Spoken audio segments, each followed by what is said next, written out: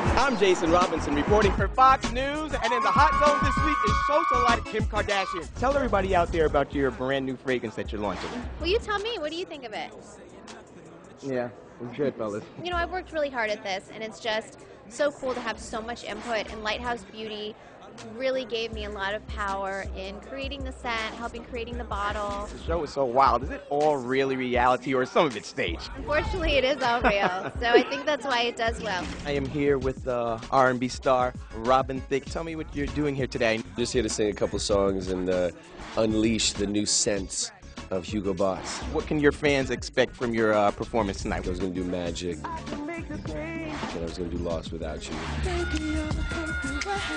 As Michael Jackson said, give the people what they want. I just heard that you have been nominated for a Grammy. Yeah, I just can't believe it. It's so amazing and exciting, and you know the record's been out now for nine months in the U.S., but it's just popped because of Z100. Listen, man, can you believe it's been 10 whole years since the release of Reasonable Doubt, man?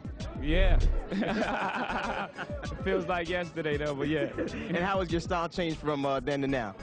Uh, you know, I'm mellow. I'm cool. I'm more, I'm more cool. That guy was a had a had a him against the system way of thinking that was real dangerous at that time. How was it uh, winning the World Series? It was a great victory. Oh yeah, it was fun. I mean, that's what you play for is to get the opportunity to win a championship, and I forgot how good it felt.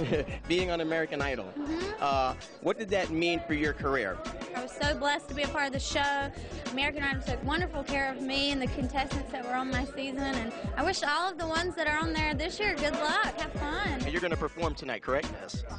I'll perform a picture with the orchestra with the phenomenal singer Giselle. It's the first time I really sang it in soundcheck where somebody put like a gospel feel to it.